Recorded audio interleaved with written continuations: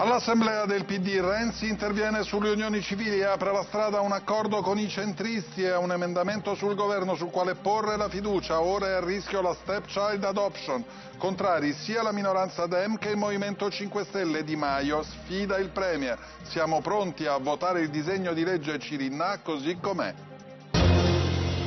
Sarà presentato dal ministro Padoan il piano del governo italiano per riformare l'Europa, sette i punti chiavi, tra i quali unione bancaria, bond europei per le infrastrutture, ministro del tesoro unico. Intanto in Gran Bretagna il sindaco di Londra Boris Johnson critica il premier Cameron e si schiera per l'uscita del paese dall'Unione Europea. Una serie di attacchi kamikaze rivendicata dall'ISIS causa decine di morti a Homs e Damasco in Siria, nel mirino dei terroristi i luoghi di culto sciiti. Intanto il segretario di Stato americano Kerry annuncia abbiamo raggiunto con Mosca un accordo per il cessate il fuoco in Siria. La Roma batte 5-0 il Palermo e questa è la quinta vittoria consecutiva per i giallorossi di Spalletti. Allo stadio c'è Francesco Totti dopo l'esclusione e le polemiche con il tecnico, ma intanto oggi il capitano della Roma tornerà ad allenarsi. La Fiorentina vince a Bergamo con l'Atalanta ed è terza stasera Napoli-Milan.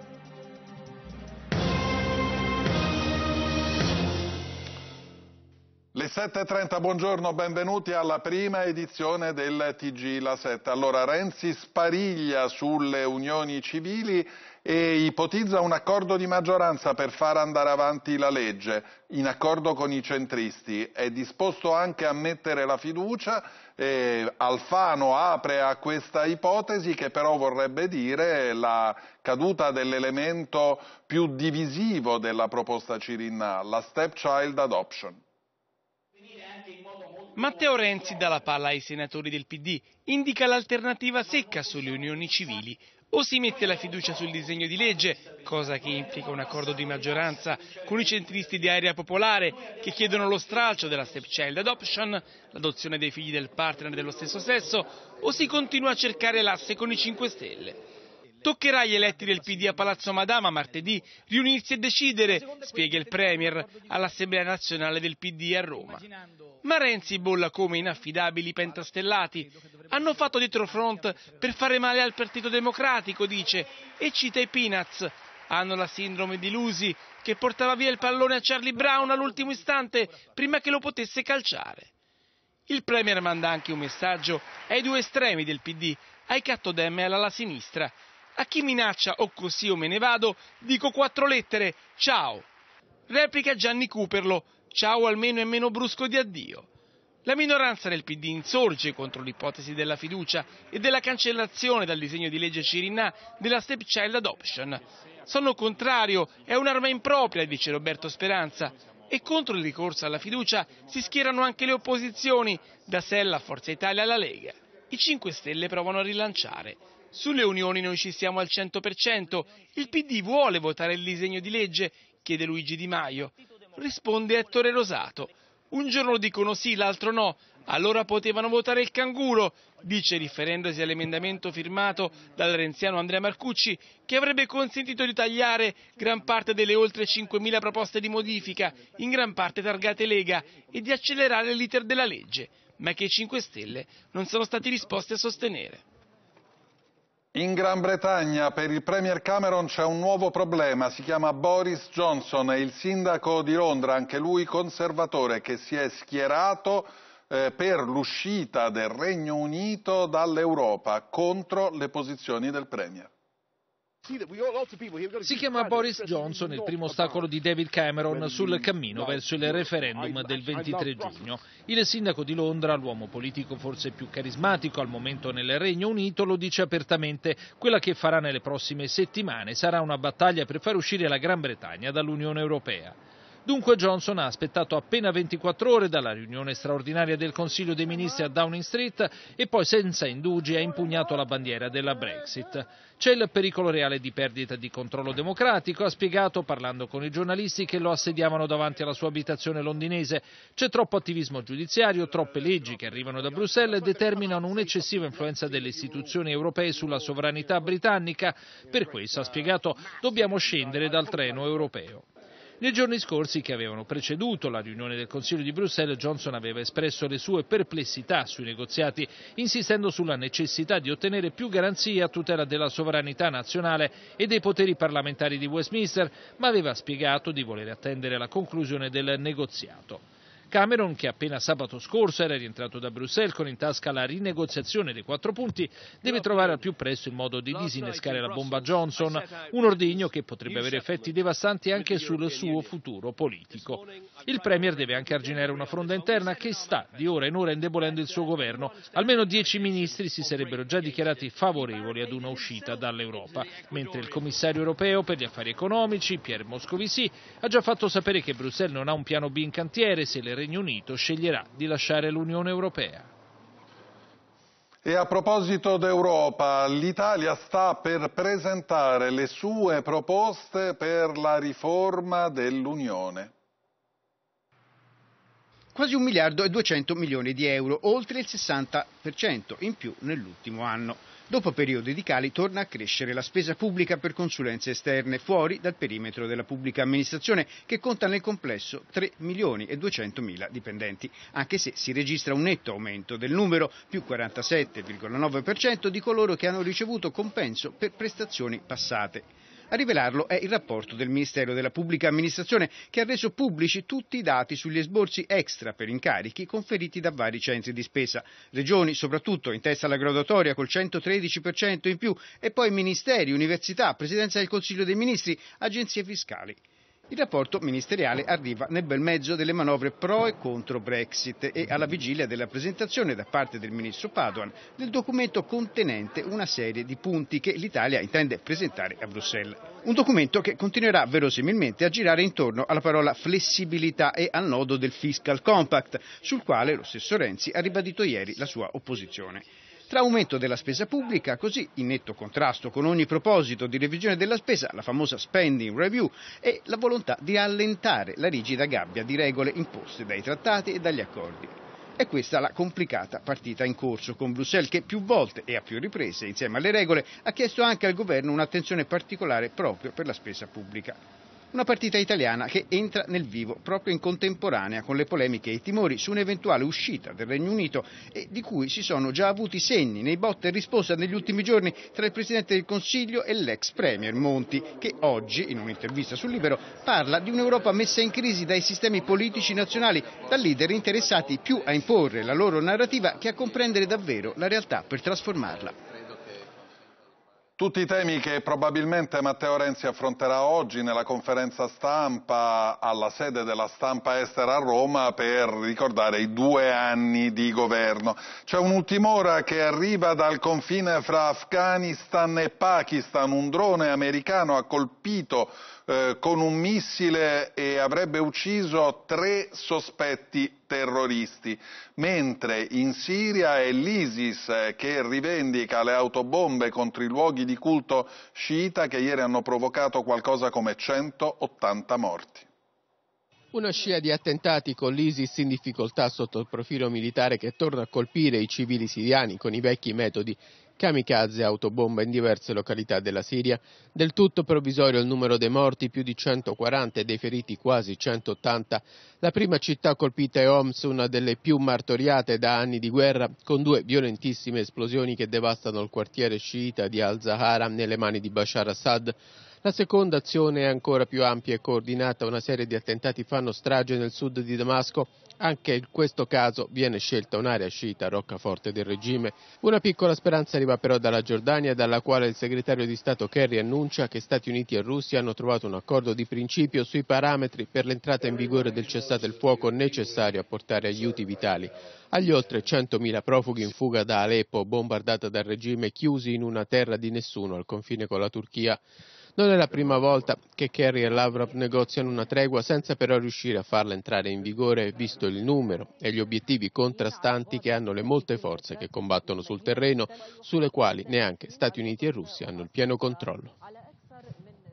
E ora la storia di Meriem, una diciannovenne cittadina italiana di Padova ma di origini marocchine che in estate aveva raggiunto l'ISIS per combattere a fianco del califfato e che ora vorrebbe abbandonare eh, i miliziani e rientrare in Italia. Non sarà facile.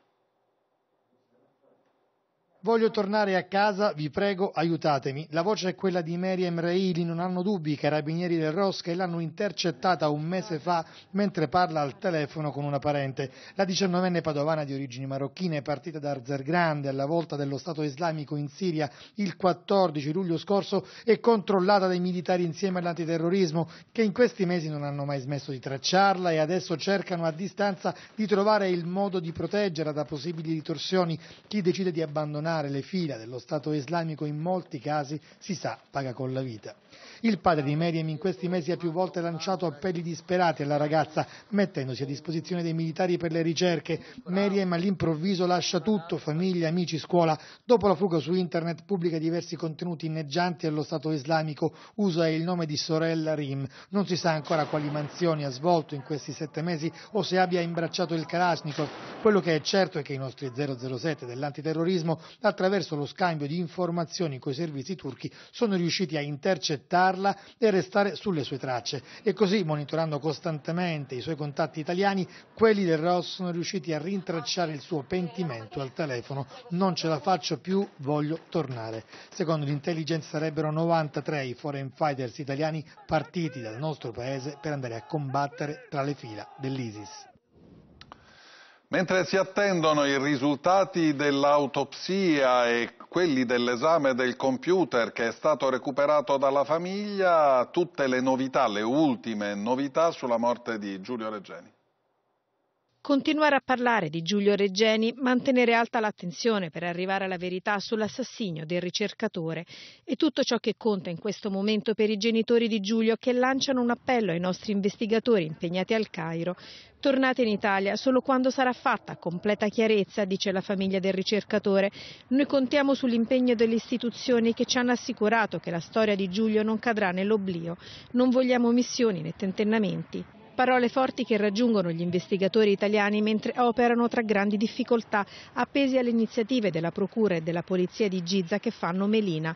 Gli inquirenti egiziani non vogliono coinvolgere nelle indagini poliziotti e carabinieri tenuti lontani dai risultati degli accertamenti fatti al Cairo, dai tabulati telefonici alle immagini girate dalle telecamere di sorveglianza.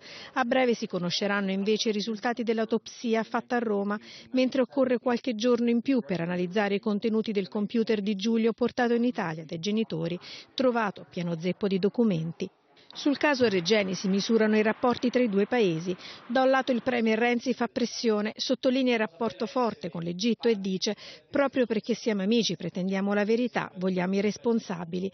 Da Sharm el Sheikh il primo ministro egiziano Sherif Ismail replica che gli investigatori comunicheranno i risultati delle indagini appena ultimeranno il loro lavoro. L'omicidio di Regeni è un atto criminale, ma il ministro non crede che i rapporti con l'Italia verranno compromessi da quello che cataloga come un un incidente. I governanti cattolici compiano un gesto esemplare e durante quest'anno non eseguano condanne a morte. Questo è l'appello che è arrivato ieri da Papa Francesco che chiede un gesto concreto nell'anno del Giubileo della Misericordia. Per Pergoglia è un segno di speranza che nell'opinione pubblica si sia sviluppata una diffusa contrarietà alla pena di morte, anche solo come strumento di legittima difesa sociale. Il Giubileo, ha detto il Papa, è un'occasione propizia per promuovere nel mondo il rispetto della vita e della dignità di ogni persona. Andiamo negli Stati Uniti, eh, è il ritiro in punta di piedi di Jeb Bush, l'elemento più importante dell'ultima tappa delle primarie che hanno visto ancora una volta vincere Trump fra i repubblicani e la Clinton risalire fra i democratici. Il trionfo di Donald Trump e la resurrezione di Hillary Clinton. I media mondiali riassumono così l'esito del terzo match delle primarie di sabato negli Stati Uniti.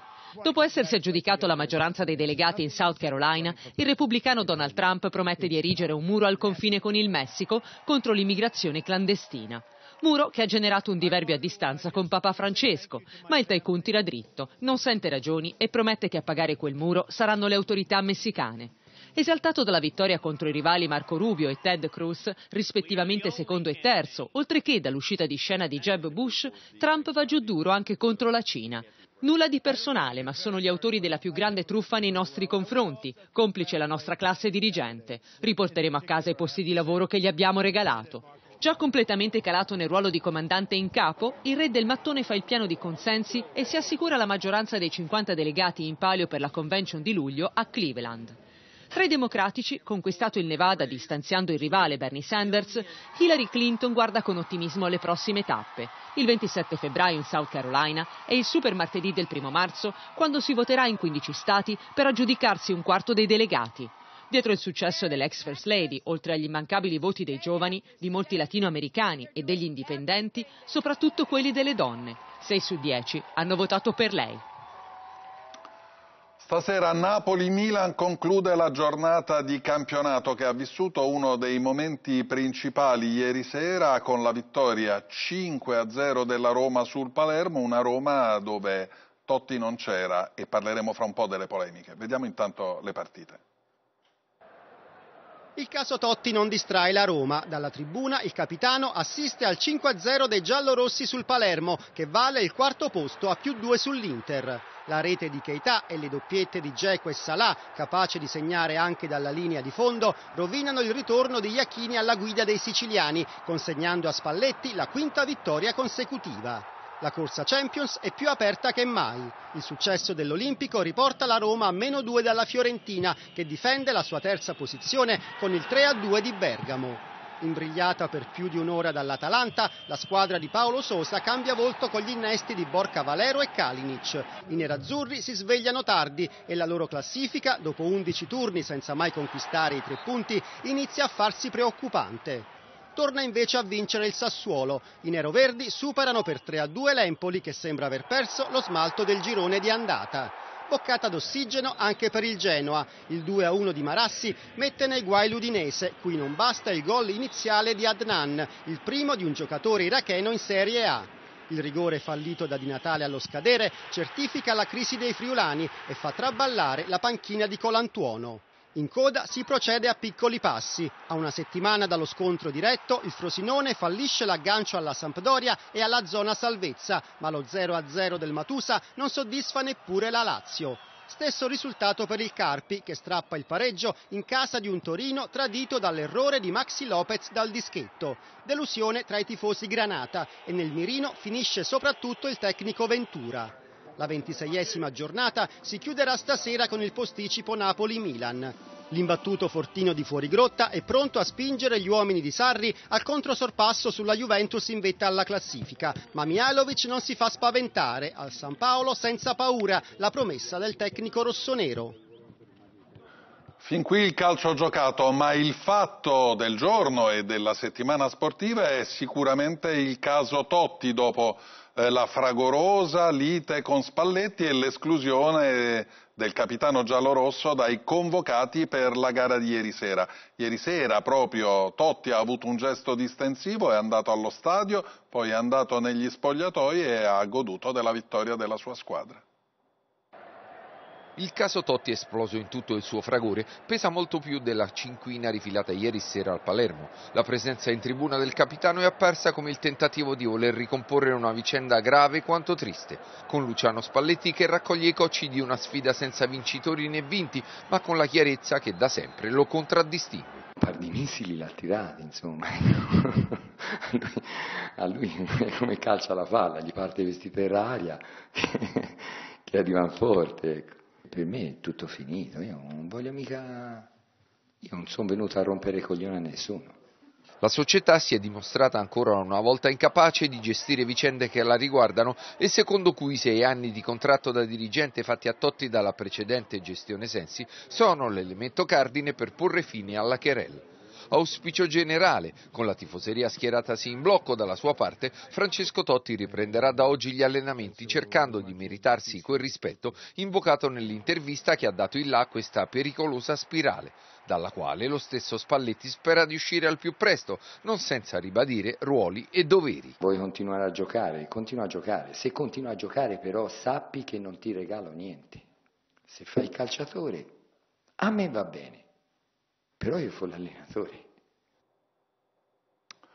Allora, adesso le previsioni del tempo con Paolo Sotto Corona, subito dopo c'è Omnibus. Gli ospiti di Alessandra Sardoni di oggi sono Elisa Calessi eh, di Libero, Marco da Milano che è il vice direttore dell'Espresso, Maurizio Molinari, il direttore della stampa, poi c'è Massimiliano Panarari, un politologo, l'economista Nicola Rossi e Gianfranco Pasquino, professore all'Università di Bologna. Alle 13.30 la prossima edizione del telegiornale. Noi ci vediamo domani alle 6 e mezzo con Omnibus News. Grazie e arrivederci.